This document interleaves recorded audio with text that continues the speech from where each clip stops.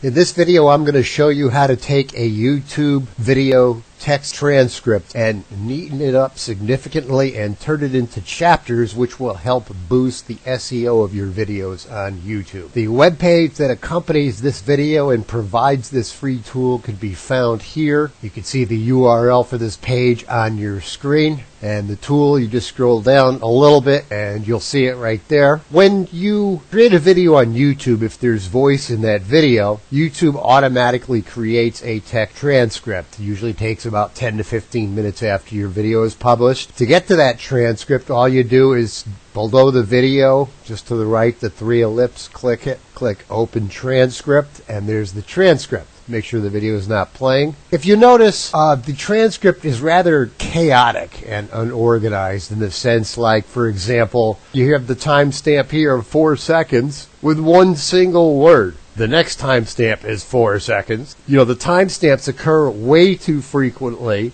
and the amount of text within each timestamp is random and short, and the time between timestamps is rather random and chaotic. So it makes me think somebody was drunk when they made this thing. But what the tool that this video is about does is it takes that transcript and it just makes it a lot more useful. One thing a lot of people don't know is that if you take your transcript and at least make it so there's 10 seconds or more between each uh, timestamp, your video is automatically going to be converted to and broken into, down into chapters like this video. You notice when I mouse over the progress bar, it's divided into sections and it's showing words right here related to each section. I can't prove this, but I believe this helps with the SEO of your video if for no other reason than YouTube is going to see it that you're making your video more useful to other people uh, who visit your videos. So it may, for, for example, help the SEO of your entire channel. I'm not sure about that. It certainly can't hurt.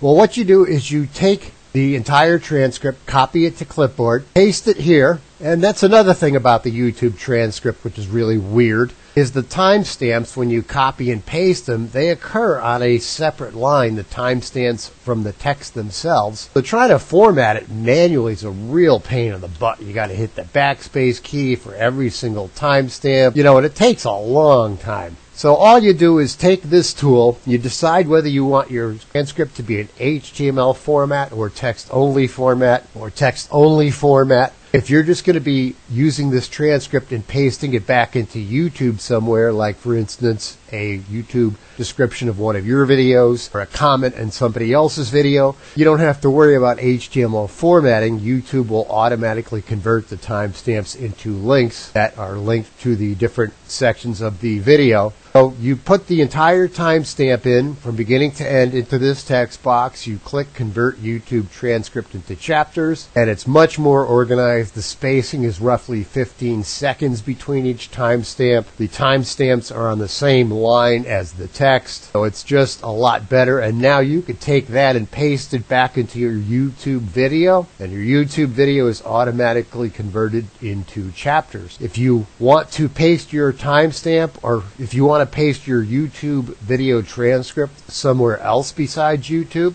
your own site, choose the HTML formatting, and then the timestamps get hyperlinked. Of course, I forgot to put the video's URL in here. All you do is take video's URL, which these timestamps and transcripts belong to, put it here, and then click create and now your uh, transcripts are properly HTML coded so that when somebody clicks on any of the timestamps links they're automatically taken to the YouTube video and it will start at that particular time and you can copy and paste this into any web page HTML document. Remember, if you're going to be pasting it back into YouTube somewhere, choose the text transcript. If you're going to be pasting this in some other website, use the HTML formatting. Again, the web address to this tool is on your screen right now.